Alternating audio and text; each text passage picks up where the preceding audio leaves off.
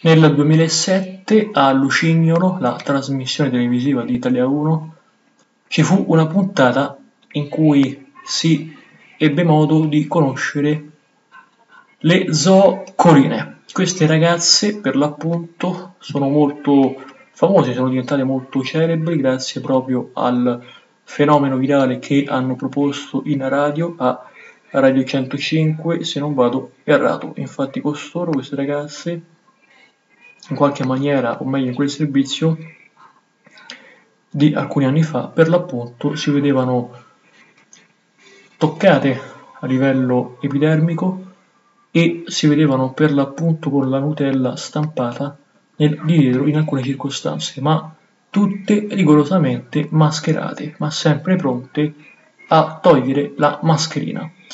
Sexy più che mai queste ragazze, lo dico senza falsa retorica, mi hanno profondamente lasciato soddisfatto. Perché, come direbbe il buon Andrea Di Pre, queste ragazze sono effettivamente delle opere d'arte mobili, sono delle ragazze fenomenali, esteticamente bellissime, ma soprattutto capaci di far emozionare gli altri. Io vorrei solo dire questo, ed è possiamo essere contenti nel apprezzare queste ragazze che hanno avuto la facoltà, hanno avuto, chiamiamola l'idea, di mettersi davanti alla, foto, alla videocamera e ad essere genuine per quel che sono effettivamente. Bene, ne sono convinto che molti di voi si ricorderanno di loro perché sono convinto che quella puntata sarà rimasta nelle vostre memorie perché avrete avuto certamente, se siete uomini, come il sottoscritto delle, come dire, dei benefici a livello fisico nell'ammirare, nell'apprezzare la marcata sensualità di queste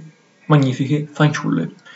Detto ciò, ringrazio voi tutti per l'ascolto, dunque un fenomeno di zoccoline che ancora oggi viene visto e viene appunto discusso nel web e non solo. A queste ragazze dico di proseguire nella loro attività di zoocoline allo Zoo di 105, quindi nel loro impegno per far emozionare noi uomini e a riuscire a farci avere ben alzato il morale. Iscrivetevi, commentate, un saluto a voi tutti.